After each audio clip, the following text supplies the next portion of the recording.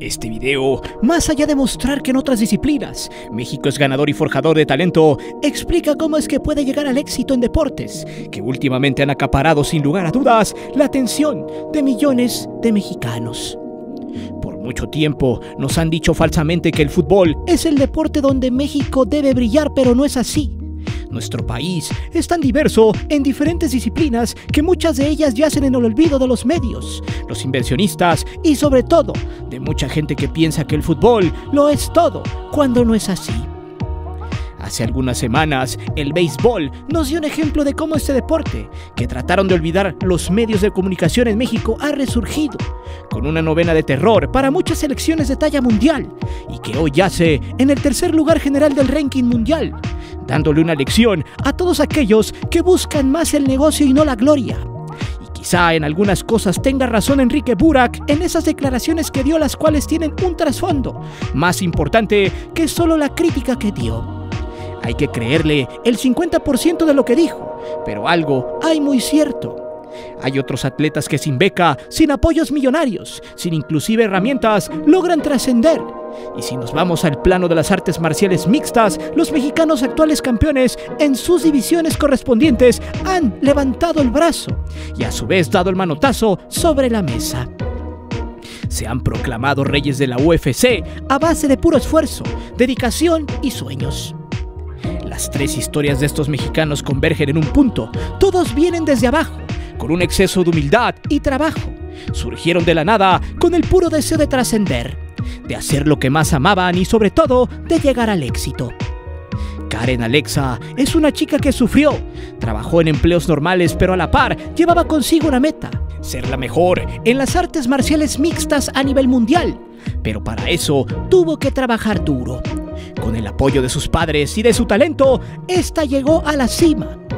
Brandon Moreno, por su parte, quien tenía una carrera inestable, nunca quitó el dedo del renglón y a pesar de que su hija tuvo problemas médicos cuando este no era nadie, no desistió y siguió luchando para llegar a la cima de la gloria. Y la de Yair Raciel Rodríguez, alias el Pantera, quien se forjó en un rancho cuidando animales y alimentándolos, para luego trascender como peleador. Son ejemplos de vida que yacen allí, esperando a que la gente los voltee a ver ellos no llegaron a ser exitosos ganando el dinero del mundo, ni mucho menos vivieron sobre algodones como otros deportistas muy sobrevalorados están, a los que les pagan mucho dinero por hacerse tontos en la cancha. Prepárate, porque este video es especial y muestra una vez más que en México hay mucho talento deportivo, solo falta apoyarlo y seguirlo. Es por eso que hoy te presento Alexa Grasso, Brandon Moreno y Yair El Pantera Rodríguez, los grandes campeones mexicanos de la UFC. Antes de seguir con el video te invito a suscribirte al canal, activa la campana para que recibas todas las notificaciones de nuestro material y de las narraciones en vivo. Y también ya puedes hacerte miembro del canal, donde recibirás contenido extra muy fregón, solo para el que quiera ponerse guapo. Te divertirás, te lo aseguro.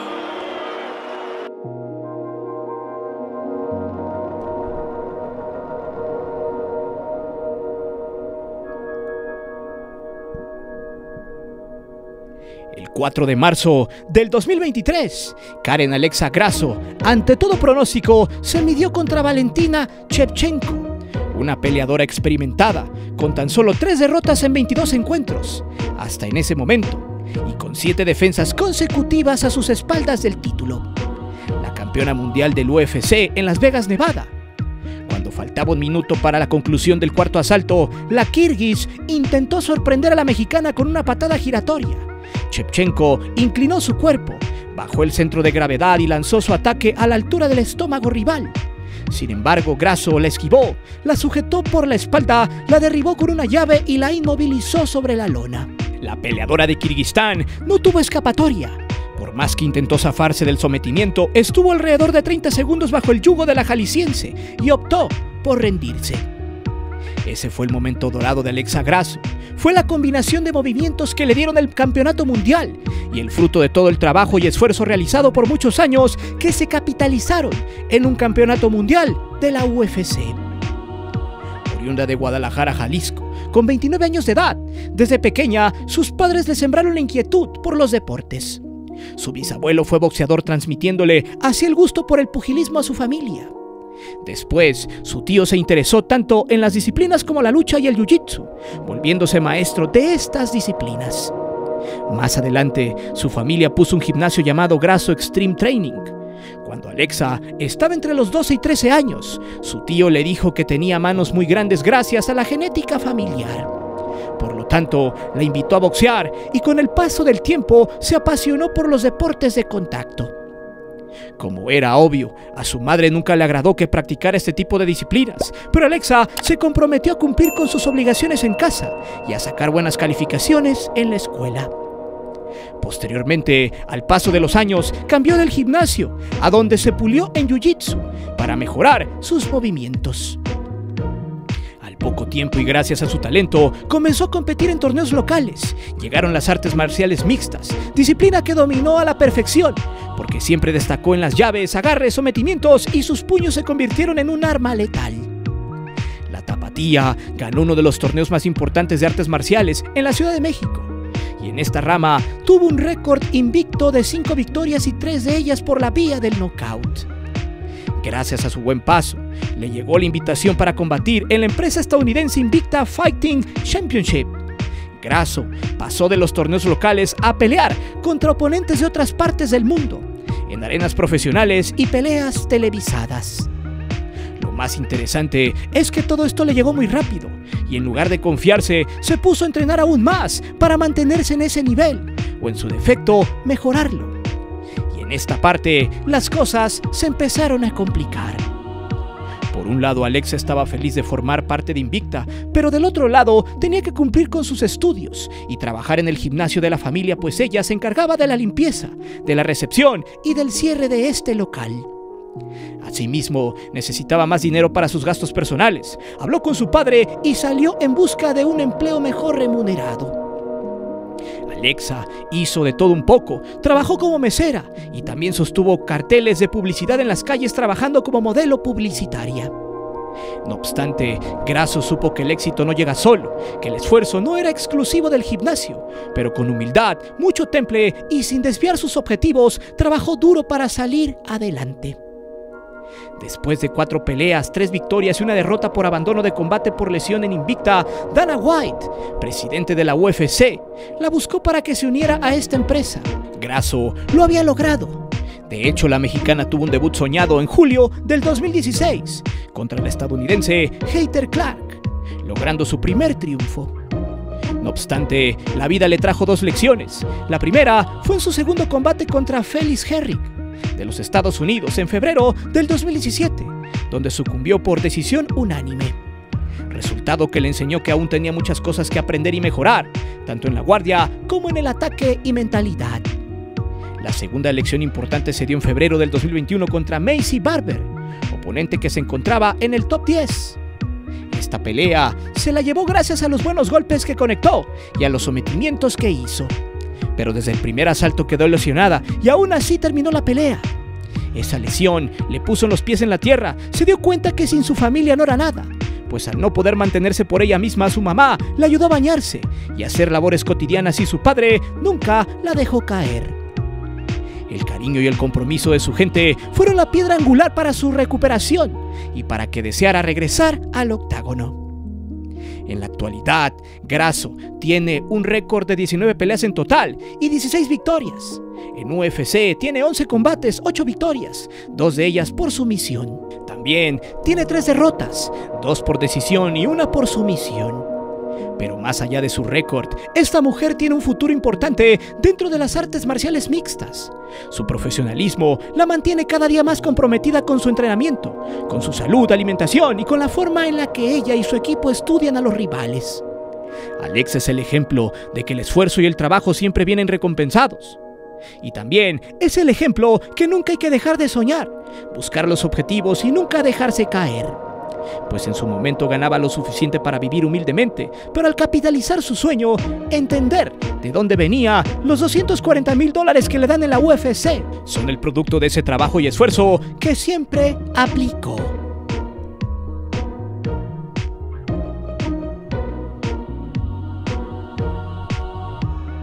Después de un empate mayoritario en la primera edición de la tetralogía contra el brasileño Figueiredo, la revancha era obligatoria. En su segunda pelea por el campeonato, Brandon Moreno sabía que si quería ganar necesitaba llevarse la pelea por sumisión. Y desde el inicio salió por el triunfo. Después de tres rounds, en un encuentro muy parejo, el tijuanense logró llevarlo a la lona con el típico aniquila león. Figueiredo luchó para soltarse, pero no pudo hacerlo. El bebé aniquilador le apretó el cuello sin piedad hasta que Figueiredo se rindió y por primera vez en la historia hubo un campeón mexicano en la UFC de peso mosca. Tras recibir el cinturón, emitió el siguiente discurso. Vengo de un país donde se utiliza el sí se puede, sí se puede, y a veces no lo logramos, pero hoy se pudo, caón, sí se puede, güey. Sí se puede lograr los trinches sueños, se pueden lograr y aquí estoy. ¡Viva México! Brandon Moreno pudo culminar una meta, pero también dejó ir todo el sufrimiento, la frustración y los problemas que tuvo a lo largo de su carrera, la cual parecía irse a la nada. Todo empezó en Tijuana. Brandon nació el 7 de diciembre de 1993, en el seno de una familia humilde pero muy trabajadora. Su padre era chofer y taxista, pero como no le iba muy bien, decidió incursionar en el negocio de las piñatas, al lado de su esposa. En casa siempre le inculcaron el valor del trabajo, del esfuerzo y en que en esta vida nada es gratis, y que si se quieren comodidades había que trabajar más. Sin embargo, la vida normal de Brandon cambió cuando fue invitado a una clase de artes marciales. En ese primer día quedó completamente enamorado del entrenamiento y la disciplina pero el destino lo encaminó hacia las artes marciales mixtas, cuando cayó en sus manos un videojuego de capoeira debido a que desde su niñez este fue aficionado a los juegos de video. Fue ahí cuando sus padres buscaron clases de esta arte marcial brasileña, pero a lo más que llegaron fue un gimnasio de se vale todo, un combate que permite golpes de cualquier disciplina siendo esta la semilla de su futuro. A los 12 años se unió a Entran Gym con el objetivo de incursionar en artes marciales mixtas, disciplina que se volvió su pasión. De hecho, este pequeño gimnasio de Tijuana fue su pasaporte para competir en los mejores torneos del mundo. Cinco años después, su padre tuvo que firmar una responsiva para que pudiera combatir en el Ultimate Warrior Challenge, porque era menor de edad. Fue ahí donde su cara de niño bueno y su fiereza en el ring le dieron el mote de bebé asesino. Ya para el 2014 debutó en la World Fighting Federation. Tuvo un récord perfecto a lo largo de cinco peleas y salió de la organización siendo campeón de peso mosca. Su estilo de combate y su técnica llamaron la atención de la UFC y lo invitaron al semillero y al reality show de Ultimate Fighter. El tijuanense quedó rankeado en el lugar 16 y en su primer cotejo terminó sucumbiendo contra el brasileño Alexandre Pantoja, pero por su dedicación y por el trabajo mostrado a lo largo del campamento, consiguió su primer contrato con la UFC. Su arranque en la nueva promotora fue claroscuro, ya que ganó sus primeras tres peleas, dos de ellas por sumisión y después tuvo dos derrotas muy dolorosas. La primera fue en agosto del 2017 contra Sergio Petis en la Ciudad de México y la segunda nuevamente contra Pantoja en mayo del 2018. Por esta situación, la UFC lo congeló y se le vino una etapa muy complicada. No tenía dinero y su hija necesitaba una cirugía. Después de un año sin pelear, regresó al trabajo familiar.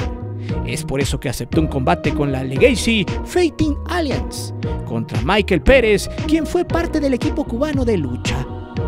Moreno se jugó su futuro en ese combate, sin embargo, este se quedó con el triunfo y la UFC volteó a verlo de nuevo, de hecho, se puede decir que, con esta pelea, rescató su carrera. Pero su regreso al máximo circuito de las artes marciales mixtas no fue lo que todos esperaban, pues obtuvo un empate dividido en la Ciudad de México contra el ruso Askar Askarov en septiembre del 2019. Pero eso lo hizo reflexionar y entrenó con más fuerza, pulió su técnica, levantando así su carrera. De hecho, tuvo tres victorias al hilo, la primera en ese diciembre contra Kai Kare France, de Nueva Zelanda. La segunda contra el brasileño Jusuer Formiga, en marzo del 2020. Y la tercera contra Brandon Roybal el 21 de noviembre de ese mismo año. Sorpresivamente, le notificaron que estaba la oportunidad de enfrentar al campeón de peso mosca para el 12 de diciembre de ese mismo año, y con solo tres semanas para preparar la pelea, aceptó el reto. Se preparó a fondo, estudió su rival y se rifó un gran combate contra un viejo conocido que sería después el brasileño Davidson Figueiredo, en una pelea definida por empate mayoritario. El combate fue un éxito que terminó en empate y había que definir una segunda, la cual se dio seis meses después y que terminó ganando de forma heroica el mexicano. Pero esto no terminaría allí. De hecho, aquí se formaría una especie de guerra entre ambos. En enero del 2022, Figueiredo volvió a retar a Brandon a una defensa del título y tercer combate consecutivo entre ambos, sin un encuentro muy complicado, que se pudo haber definido por cualquier lado. Pero se inclinó para el brasileño por decisión unánime. La derrota había dejado a Moreno en la lona, poco le había durado el gusto de ser campeón. No obstante, aquí es donde el destino le devolvería la gloria a Brandon, pues se le dio la oportunidad de retar a Kai Kara France el 30 de julio del 2022 por el campeonato interino de peso mosca de la UFC. Pero pregunto, ¿por qué Brandon disputaría un campeonato interino y no su cuarta pelea con Figueiredo? Bien, el brasileño para esas fechas no estaba dispuesto físicamente para la defensa del título, ya que tenía severas lesiones en ambas manos, por lo que al menos en el primer semestre del 2022 no pudo pelear. Por eso, la UFC determinó que Brandon Moreno se disputara un interinato con Franz, a quien derrotaría en julio de ese año. Pero ojo, esta batalla iniciaría previo al campeonato interino, ya que el brasileño había metido picante en las declaraciones contra el mexicano, diciendo que ese campeonato era de plástico, pero que el neozelandés no quería Moreno. Pero no fue así. Luego de un pómulo destrozado, el mexicano encontró el hígado de cara Franz noqueándolo y con el ánimo a tope para buscar el campeonato oficial. Así fue como esta tetralogía inició con todo. Fue un combate muy parejo, donde un golpe contundente podría definir las acciones. Y este llegó en el tercer asalto, cuando el mexicano conectó un golpe seco en el ojo del brasileño que resultó letal. De hecho, al término de ese round, los médicos determinaron que Figueiredo no podría continuar y el oriundo de Tijuana refrendó su título callando la boca del sudamericano en su propia casa. Brandon Moreno le demostró a todo Brasil que él es el mejor en su división, con mucha humildad, pero sobre todo con mucha pasión.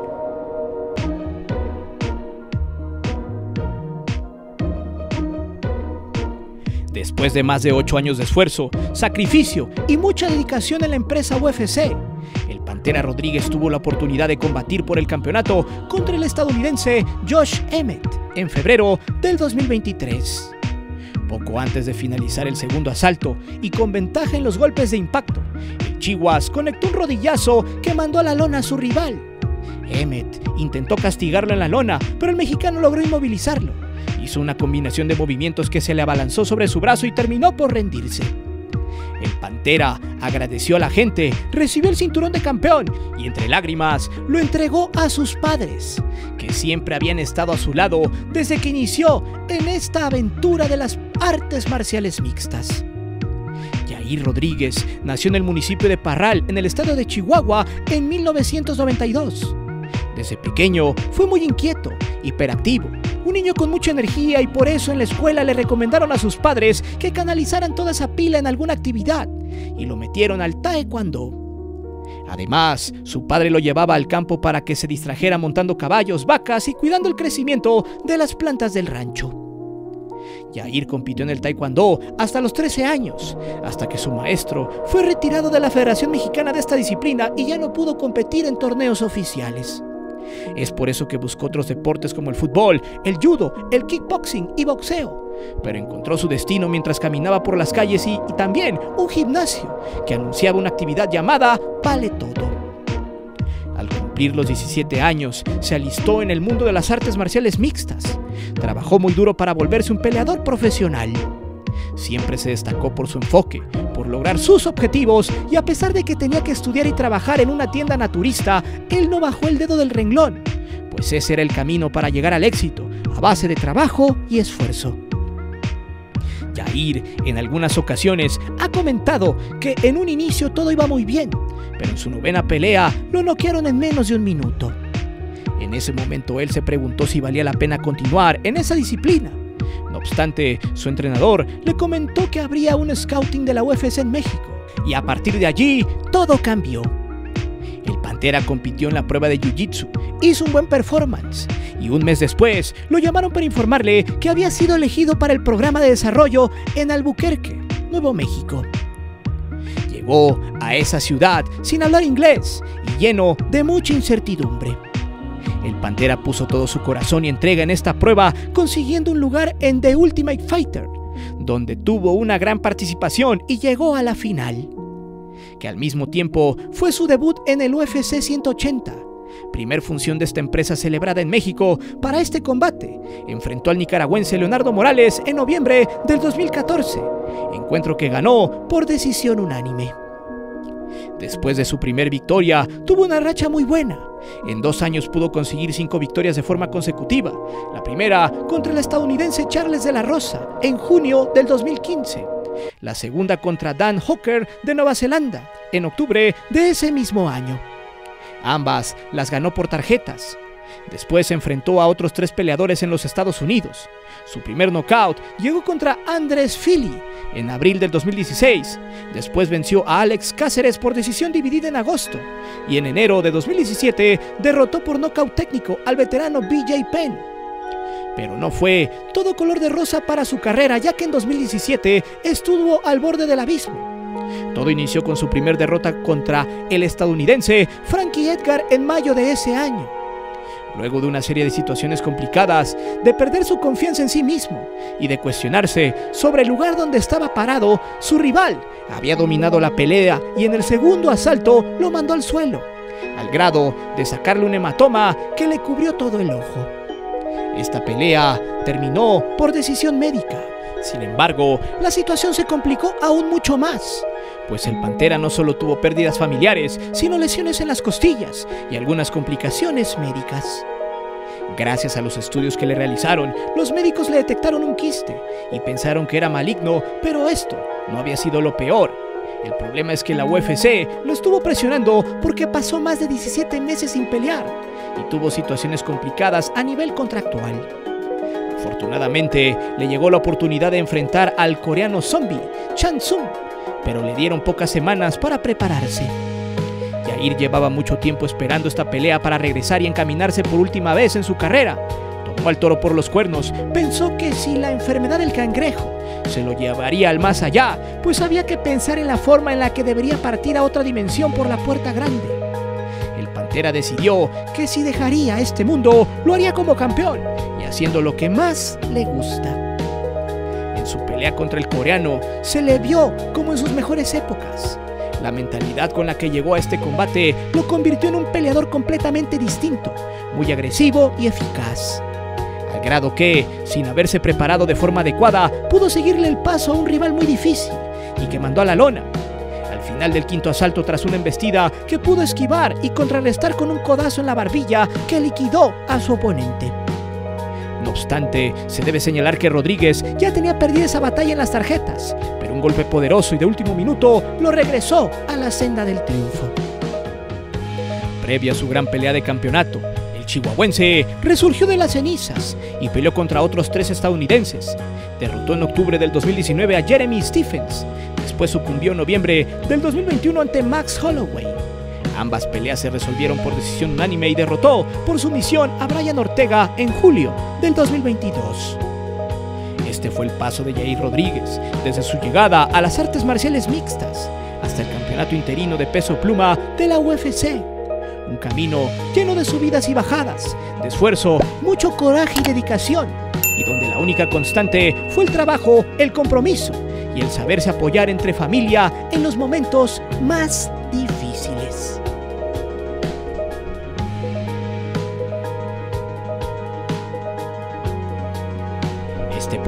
Se dejará para la reflexión. Por mucho tiempo se ha inculcado que el fútbol debe ser el deporte mexicano por excelencia, porque es el que más vende, pero en realidad es que este ya ha perdido mucha credibilidad por cómo se maneja. Esa es la crítica puntual. los malos manejos, ya que en nuestro país existen muchos jugadores por ahí perdidos, que solo necesitan el apoyo y sobre todo mostrarse. Que no haya intermediarios y puedan desarrollarse. Sin embargo, por ahora poco nada puede hacerse y pronto hablaremos del por qué en México se detiene el talento futbolístico. Tenemos ya por ahí una investigación referente a la corrupción de las canteras del fútbol mexicano, pero lejos de eso. Las tres historias de estos peleadores mexicanos quedan allí para la enseñanza de que no todo es fútbol, que hay disciplinas donde hay que partirse la mandarina en gajos para poder llegar lejos. Y preguntémonos, ¿qué pasaría si estos peleadores hubieran tenido todos los privilegios para poder trascender? Seguro hubiera sido otra historia. Además, también queda para la reflexión la enseñanza que nos dejan como sociedad. ¿Cómo es que hay gente que canaliza su energía en buenas acciones, en metas personales y en un trabajo honesto? El corazón y la humildad son dos palabras que últimamente las nuevas generaciones no manejan, pues han perdido la cultura del trabajo, dedicación y del esfuerzo, puesto quieren todo fácil, rápido y a la mano cuando no es así. Y su mismo contexto no se los permite.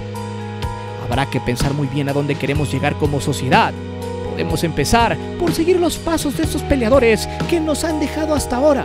Un gran ejemplo que nunca se debe de rendir y siempre luchar por los sueños. Pero dime, ¿qué otros deportes en México son la punta de lanza para el éxito? ¿Eres aficionado a las artes marciales mixtas?